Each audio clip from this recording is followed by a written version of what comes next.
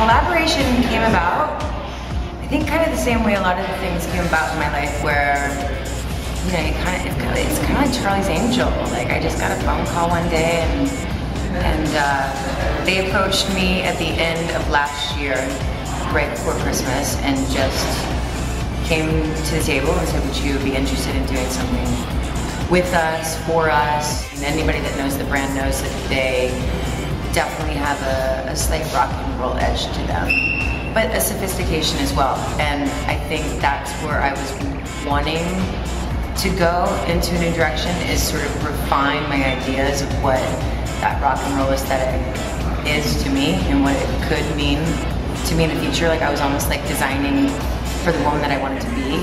So, and as far as how much I'm involved, I think anybody that knows me knows that I'm really involved. I'm kind of, it's like the only thing that I'm anal about in my life is making sure that like all the little gods are in the detail. For as much as I love clothes, I definitely love jewelry more.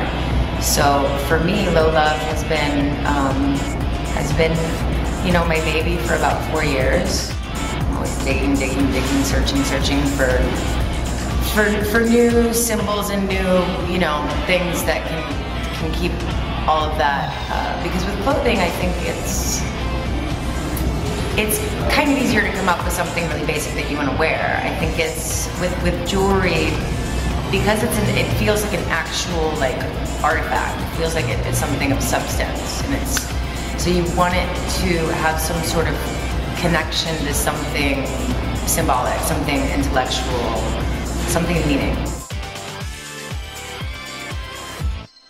I love Haider Ackermann.